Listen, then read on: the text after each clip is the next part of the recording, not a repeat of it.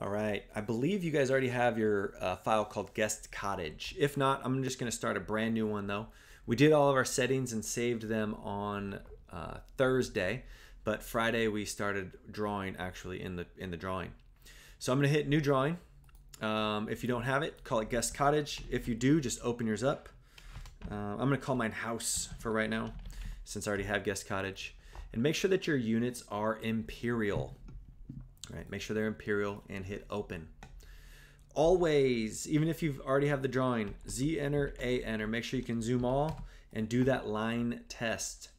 If your lines are coming up with decimal points, like my 5.3964 that I can see for my length, um, we need to change another setting. You should have OSNAP turned on to endpoint, midpoint, intersection, and extension, as well as center. O track turned on and polar turned on to 90 degrees.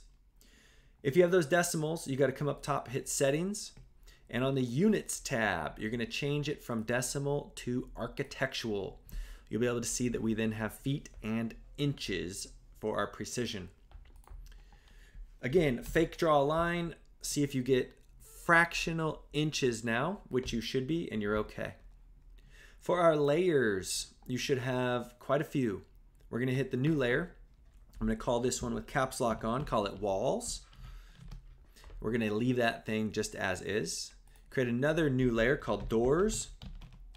For the doors layer, I'm going to click on the color and I'm going to make those yellow.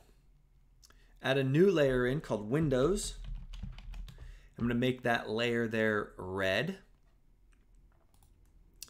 I'm going to create another new layer called casework, C-A-S-E W O R K. We're going to make case work, if I can go click on that one, cyan. And last but not least, I'm going to add in a brand new layer. We're going to call this one closet rod. And I'm going to make closet rod magenta. Also, select closet rod so it's highlighted. We want to change the line type to uh, hidden. All right, before we get drawing, I want to make sure my walls layer is the current layer. I want to go to my properties palette after I made walls current by clicking on it. And I want to choose my line type from continuous to by layer. That'll do any object that I draw in the current layer, uh, the line type. And so if I draw my closet right, it'll be hidden. And if I draw in my walls, it'll be continuous. I'm going to zoom out just a little bit on my drawing. I'm going to draw my first wall going to the right make sure you're on that blue or sorry green snap snap snap and I want to go out 18 feet so I need to type in 18 apostrophe to go over 18 feet I'm gonna hit enter escape and zoom out where I can see that total line I'm now going to draw a line from the left endpoint up 15 feet. So I'm going to type in 15 apostrophe and hit enter. I got to zoom out even more.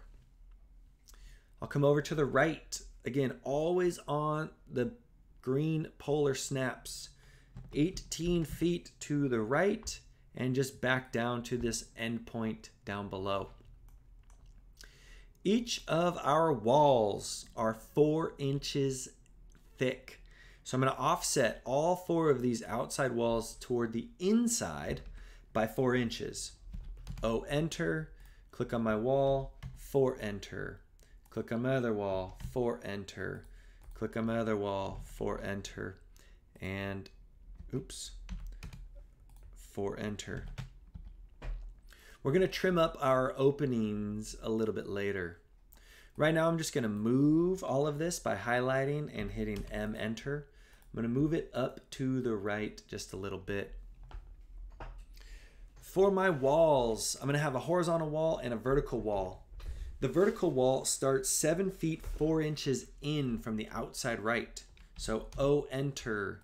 This wall over seven apostrophe four enter and escape. It comes back to the right by four inches. So O enter. Click on the line to the right, four enter and escape. My horizontal wall that cuts through starts five feet four inches down from this top line. So I'm going to O enter, grab the top line, down 5 apostrophe 4 enter. And then again, it's 4 inches thick. This time we're going to go another 4 inches, so 4 inches down again. All right, for me to trim up my walls, I'm going to do TR enter. I'm going to trim up these. Don't forget these two little pieces that stick in. I'm going to come through and clean up all of these outside corners by click holding and dragging lines through the outside corners. On my T-junctions, I'm going to go through those and open them up. Same thing here and here.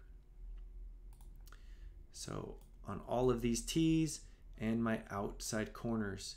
If you accidentally trim the wrong wall, don't forget in the trim command, you can hit U enter to just undo those last trim segments. We want it to look like this. It's a great time to hit save.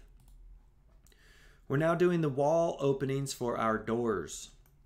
These are still in the wall layer though. So we're gonna offset, O enter, this outside line inward by two feet eight or two apostrophe eight. I'm now going to split that three foot distance and offset them each 1.5 feet to the left and right. And we'll trim. Trim off these lines, the opening. I'll hit escape and delete those extra lines up top. Up here we had a four inch offset from my interior wall to start my newest door. So four inches. Again, whenever you type in inches, you don't need to put in the quotes. You can just type in four. We'll extend this line down, offset it over by two feet, and we will trim. Over here, we'll do our center line and go out halfway each way. So O enter this line in. It was three feet, four inches for the center extend it down, two foot opening, so O enter, one foot each way, and we'll trim. Once you have your three openings and all of your walls, hit save, and we'll call it a day.